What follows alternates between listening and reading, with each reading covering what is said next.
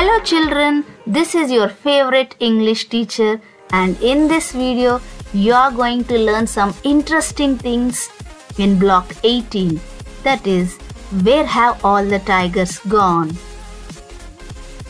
The author of this essay is Soumya Rajendran and the aim of the block is to identify the author's purpose for writing a persuasive essay and differentiate between facts and opinions and use helping verbs should, must and have to. So this is the aim of this essay.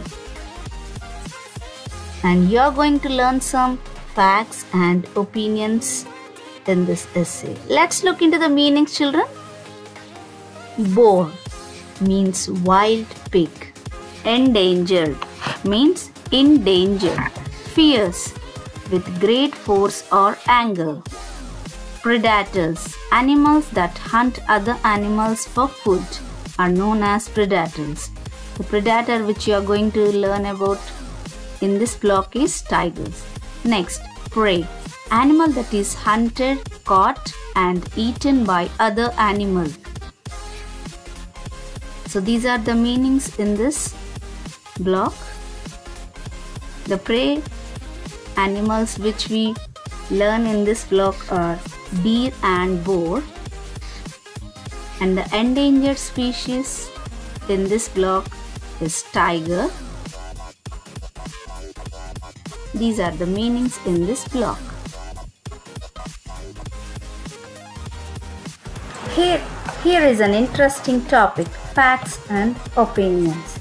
So children facts are something which is true and acceptable. For example, Russia is the largest country in the world. Coming to opinions, opinions are beliefs of someone. For example, English is the easiest language of all. So, these are facts and opinions. Now, let's look into the essay, children. This is a persuasive essay. Where have all the tigers gone? is a persuasive essay. The author of this essay is Soumya Rajendran. The author wants to persuade us that tigers are endangered species, which means tigers are few. And tigers are disappearing for two reasons they are hunt for their skin and bones and forests were destroyed to grow crops. So these are the reasons why tigers have become endangered. So people hunt tigers for their skin and bones. So tigers are predators, deer and boar are their prey. So, children, so the author's opinion is if tigers disappear, deer would increase and slowly jungles also disappear. If jungles disappear, we too would disappear soon because without jungles, we won't get proper rains. And without rain, we cannot grow the crops. So we must remember to save tigers. And we must also remember that we are the part of this earth because everything in nature is connected. And our planet Earth is shared by many animals, birds, and insects.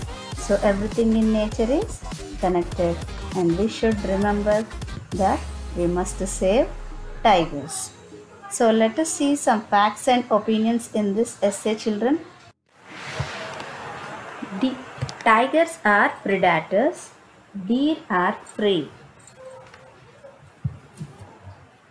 These are facts and coming to opinion, we should learn to share our planet. Here is the last topic in this block that is helping verbs. So these are the three helping verbs that you are going to learn now. Must, should and have to. The helping verbs must and have to are used to advise strongly.